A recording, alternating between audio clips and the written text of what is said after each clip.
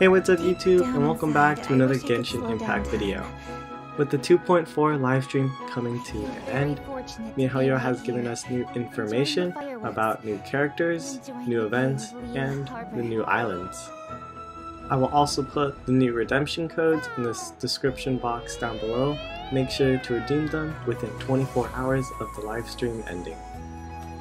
With that out of the way, let's go into the new characters, Shenhe and Yunjin.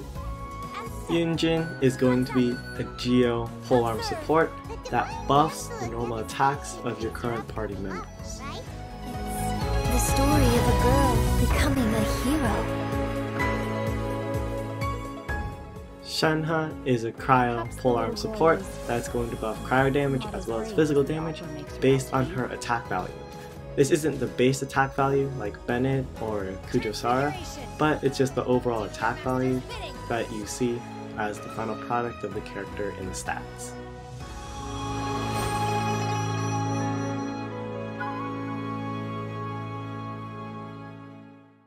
It seems like miHoYo is going to continue their double banner tradition with Yunjin and Shenhe appearing in the first banner with Xiao alongside. In the second half of the banners, we're going to have Zhongli and Ganyu. We're also going to have new hangout events for Ningguang and Yunjin, as well as a new 5-star polearm named the Calamity Queller. For the first of the new events, it seems like we'll be able to create our own fireworks after we receive a gadget called the Launch Tube. By incorporating different techniques, we can improve the quality of our fireworks, like the color, size, and the height. Next up, it looks like we're going to be having sort of a shadow mini game. If you look at the bottom left, it seems that we're going to move an object to try to match the shadow image at the bottom left. The next event that we're going to be having is I think going to be essential to the story quest. Uh, it's essentially collecting all the Jade Chamber parts that got broken off.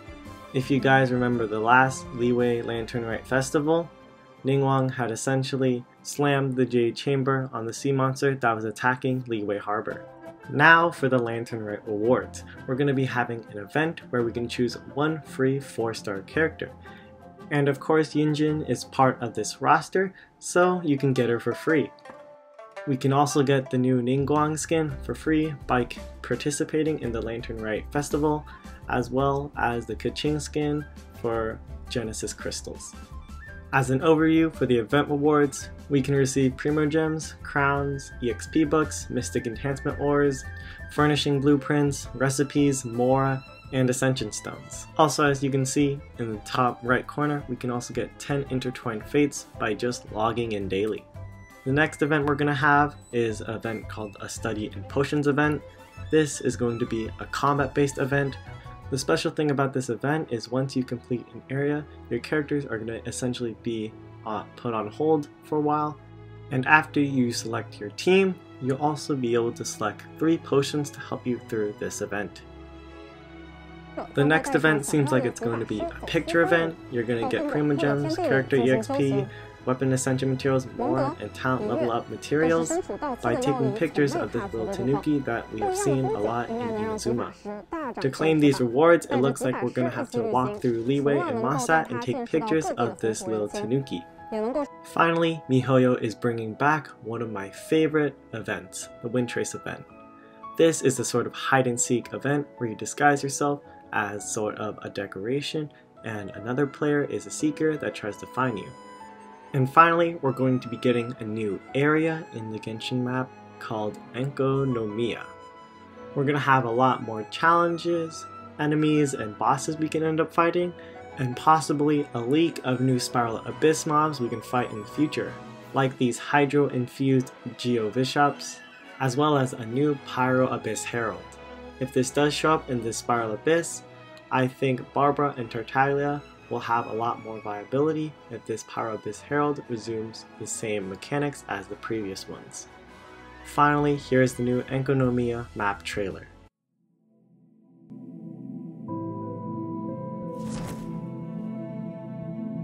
The fate of this world is already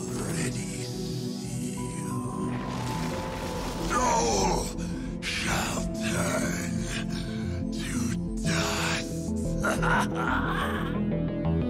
the flames of redemption rage from the ashes to this world anew. Ah,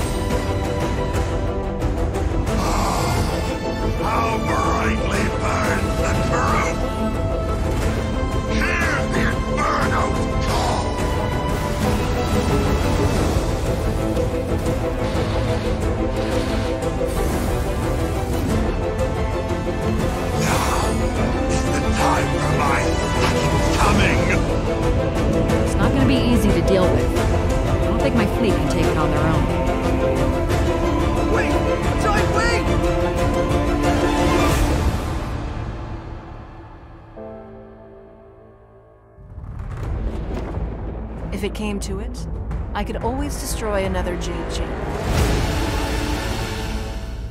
Finally, for the last part of this video, we're going to get into some quality of life changes. They're going to have some Abyss changes, they're going to have some changes about the shortcut wheel, uh, they're going to optimize map interface, and they're going to optimize interface for crafting and forging.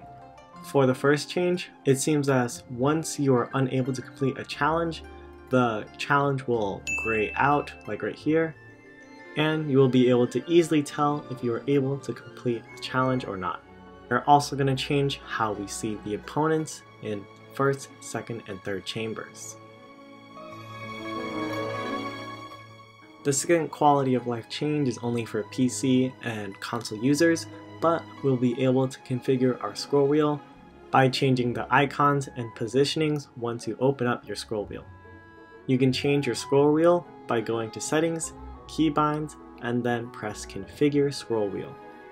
Third quality of life change we'll be able to select the region we want to go on quickly instead of dragging across the map.